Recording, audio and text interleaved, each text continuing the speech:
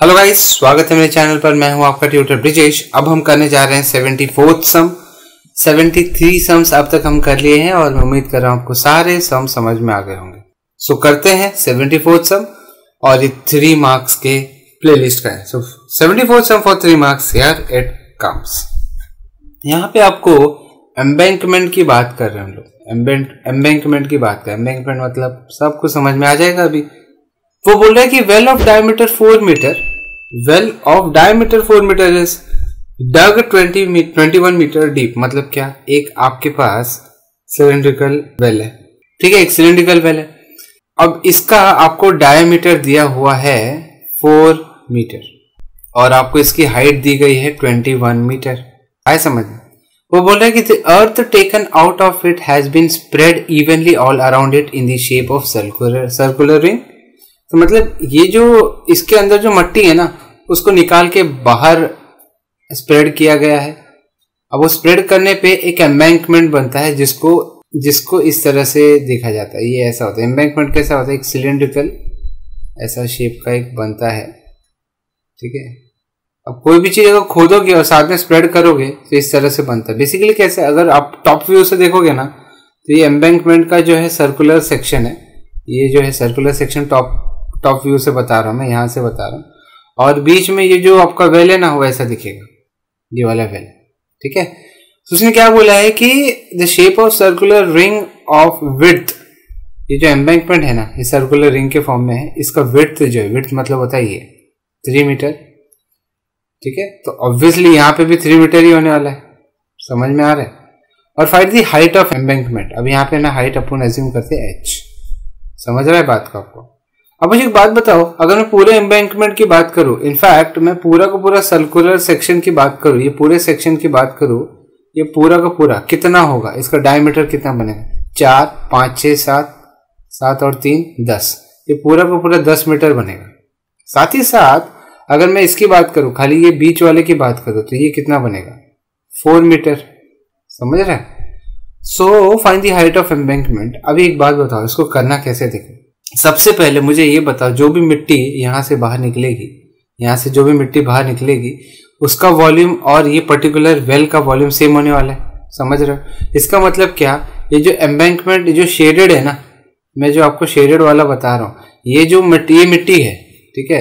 ये जो मिट्टी है, ये एक्चुअली वॉल्यूम होगा इसके इक्वल और ये मिट्टी का वॉल्यूम कैसे आएगा? मिट्टी का वॉल्यूम ऐसा आएगा कि आप पूरा का पूरा इस एम्बैंकमेंट का सर्कुलर ये जो सेक्शन है, पूरा कंसिडर करो।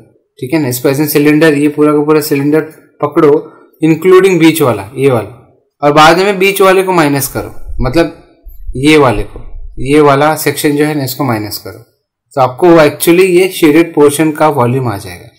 और वो जो वॉल्यूम होगा ना आपका ये पर्टिकुलर सिलेंडर के इक्वल इक्वेट करना ठीक है? चलो देखते हैं करते हैं अपन। सो so, सबसे पहले हम लोग क्या लिखेंगे? Let height of embankment be H height of किसकी बात हो रही है एम्बैंकमेंट एम्बैंकमेंट भी एक्स मीटर्स समझ में आ रहा है? अब वो एक्स होने के बाद सॉरी एक्स नहीं लेते, अपन एच लेते। पहले एच मेंशन किया है ना अपन तो अपन एच ही लेंगे। ठीक है? एच मीटर्स सो अभी क्या करेंगे?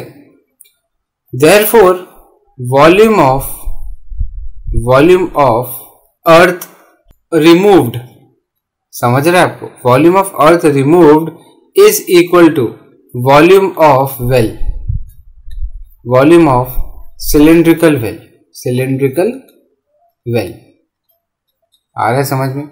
अब वॉल्यूम ऑफ़ अर्थ क्या होता है?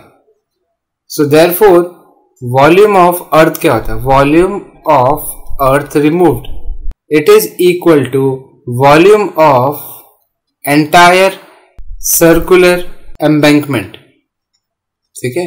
माइनस वॉल्यूम ऑफ़ एक काम करिए, ये वाला ना इसको डॉटेड से करते हैं। इसको डॉटेड से लिखता हूँ मैं।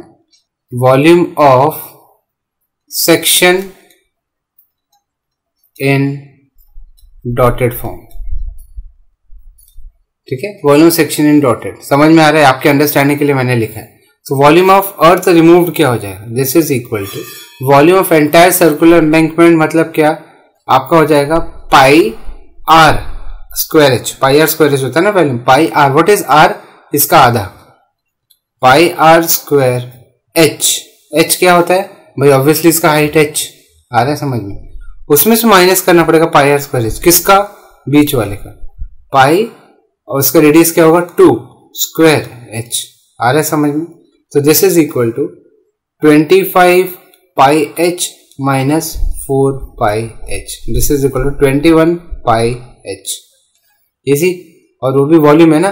This is metre cube so therefore therefore ये वाला लिखते हैं हम लोग। Twenty one therefore twenty one pi H is equal to volume of cylindrical well volume of cylindrical well क्या है? भाई वॉल्यूम ऑफ़ सिलेंड्रिकल वेल है पाई आर स्क्वायर इस बार एच लिया जाएगा ये पूरा। Twenty one easy so therefore ये हो जाएगा twenty one pi H equal to four pi into twenty one twenty one यहाँ से कट गया, पाई पाई कट गया। So therefore H is equal to four metres H equal to four metres so therefore आप क्या बोलेंगे? Therefore height of embankment equal to equal to four metres easy बहुत easy है।